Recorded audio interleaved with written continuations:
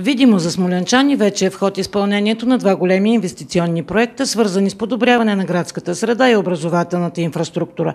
Усилено се работи по цялостната рехабилитация на четирите надлеза в централната градска част. Работата тече.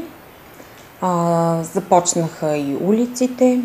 Знаете, доста важни улици са включени. Изпълняват се и мерки за енергийна ефективност и ремонти в учебни и детски заведения. Също така проект, с който много се гордеем, е проекта за изграждането на нов физкултурен салон към природо-математическата гимназия, както и ремонт на сградата на природо-математическата гимназия. Част от сградата е много стара, там ще се извършат такива ремонтни дейности, които ще подобрят енергийната ефективност. В инвестиционната програма на общината са включени още проекти за изграждане на социални жилища, ремонт и ново оборудване за планетариума, саниране на жилищни сгради.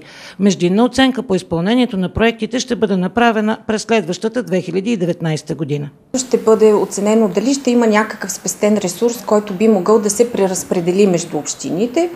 Има такава методология на преразпределение на средствата.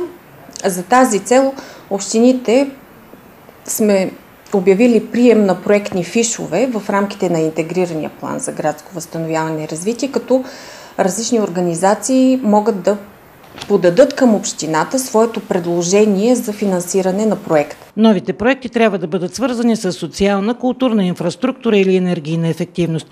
Те ще бъдат оценявани отново от работна група и могат да бъдат финансирани, ако разбира се има економии на средства.